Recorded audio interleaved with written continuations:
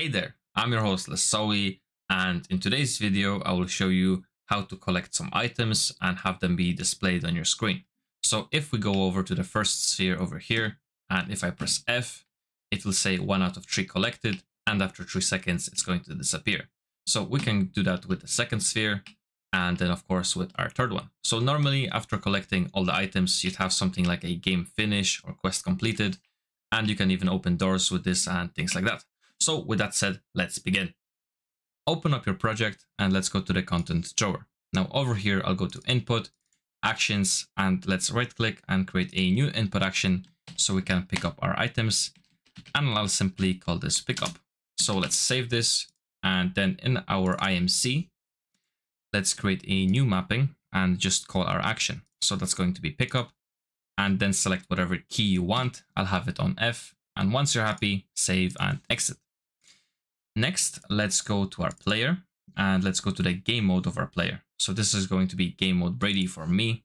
And from event begin play, we will keep track of all of our actors or items rather. So let's get all actors of class. And here we would have our item and out of actors. Let's do a length, which will return all of our actors. And from here, do promote to variable.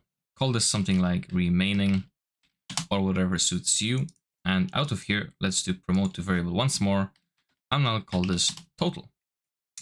Then let's connect all of these guys. And from here, let's do a print string, but it's not necessary. This is only for testing. And I want to see that this is printing the total.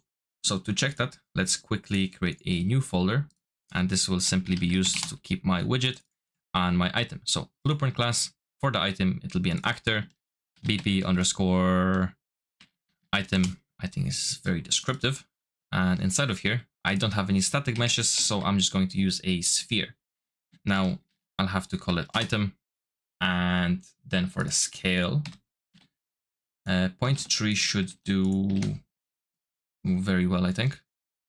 And yeah, let's put that back into here. So just search for whatever you called your item.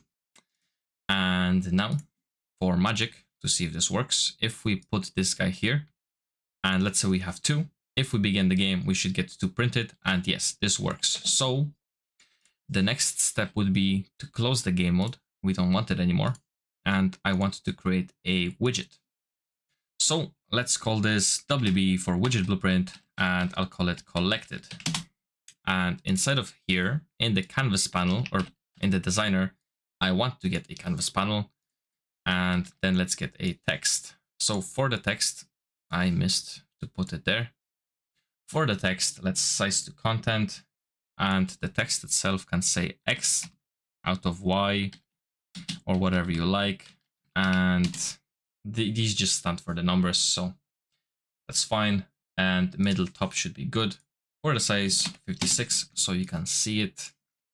And can we center align it? Yes, we can. So then here in the text, create a binding and you would cast to your game mode or to the blueprint where you have the variables made. So that's game mode Brady for me. And for this, it's going to be get game mode like so. Then let's get our remaining. So get remaining and get total like so. And of total, we want to subtract uh, one remaining. And then we would do uh, text to integer. And let's copy this guy, paste it, and also do it here. Out of this, you would do format text, break this chain, and in the box, let's type curly brackets x, uh, capital X, why not, curly brackets, do a divide, do curly brackets, do a y, end of curly brackets, do a space and say collected.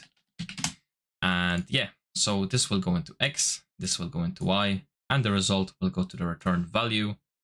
That's looking good. And one more thing, in the event graph, delete preconstruct, delete the event tick, and let's get a delay of three seconds because that's how long I want this widget to appear on the screen once I've picked up an item. So uncompleted, we will do remove from parent. And with that said, um, I believe that's all good. So compile, save, and exit. Then inside of our item, select self, do add, and we want to add a collision. And since I'm using a sphere, a sphere collision I think will be uh, sensible. So over here, let's do, what will I call this? Collision. Yes, that's correct. And for the sphere radius, um, let's give it something like 60. So we have some space to pick up our actor. And in the event graph, let's right click on collision, add event, add on component begin overlap, add on component end overlap. So from this guy, we will cast to our guy, which is going to be Brady or whatever your character is. And copy that, paste it back. And then let's do enable input. And here let's do disable disable input. There we go. So um, then for the player controller, just get player controller, not coin controller. And then, only then, let's delete these three guys and let's get our input action that we created at the very beginning. So from started, let's cast again to our game mode or wherever you have your variables. Uh, object get game mode, and we will be decrementing our remaining by one. So get remaining and do minus minus. Then from as game mode Brady once more, set remaining and plug this there, this here, and this here. So we are going to decrement by one, and then we're going to set it. And over here, let's do create widget. And let's select our widget, which we called collected. Add to viewport. And then finally, let's get rid of our actor. So let's do destroy actor. And if I hadn't make any mistakes, if I didn't make any mistakes, this should work. Let's compile and see how we did. So if I hit play, I get two. If I pick this up, I get one out of two collected and it'll disappear after three seconds. And then we get two out of two collected. So now let's say you want to finish a quest, open a door or whatever it may be. So to do that, you do you would have your input action or whatever your custom event. You would cast to game mode like we did here then you would get remaining. And if this was equal equal, or just simply equals, if this was equal to zero, you'd get a branch.